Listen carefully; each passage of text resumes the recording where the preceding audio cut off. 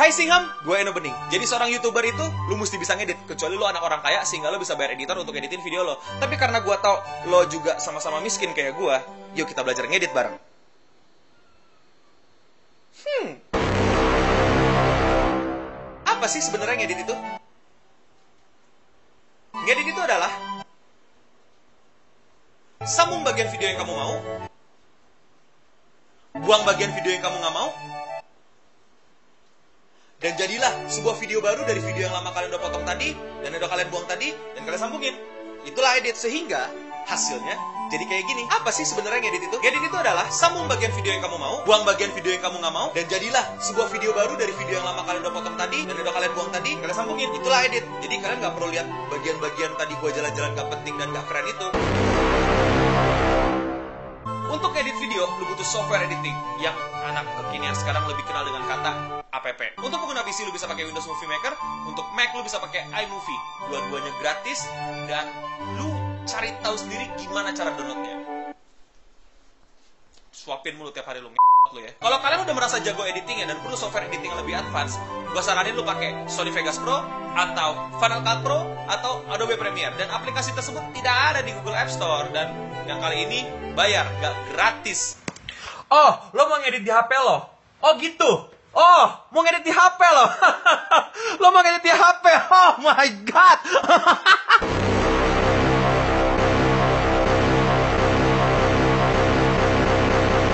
Wow, wow, wow, wow, nyantai. Yang semua lo sebutin itu udah tingkat tinggi dari editing, yaitu post production. Jadi gak disebut editing lagi karena itu udah susah banget buat lo ikutin. Karena bayangin men, ada sekolah khusus untuk ngajarin orang-orang untuk bikin kayak beginian. Jadi em, akan gue kasih tahu. Oke, fine. Akan gue kasih tahu. Ikutin gue.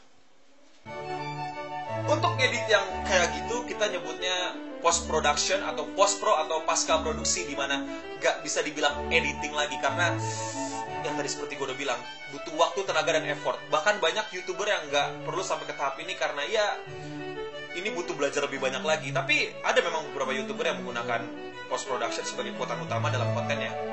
Seperti apa aja? Mari gue tunjukkan. Dengan kemampuan post pro yang udah keren efek visual atau VFX kayak gini gini Gak cuma VFX, tapi lu juga bisa ngerubah tone warna dengan kemampuan post pro yang udah keren. Jadi lu bisa ngebuat video ini terlihat sedih hanya dari warna.